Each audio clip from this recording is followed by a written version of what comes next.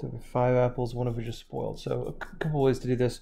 One is to pick the spoiled apple and then the non-spoiled apple. So the probability that spoiled is one out of five. And then there's four apples left and all of them are not spoiled. Or I do that I pick the non-spoiled one and then the spoiled one. Non-spoiled it would be four out of five. Five apples, one spoiled, four non-spoiled. And then to pick the spoiled one, it's one out of the remaining four apples. Or I could do this, I could do one minus neither of them spoiled.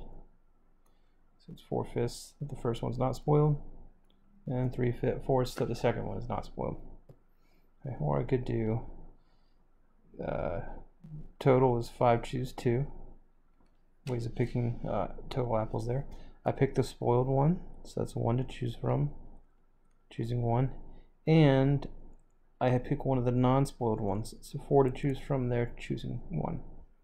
All same answer.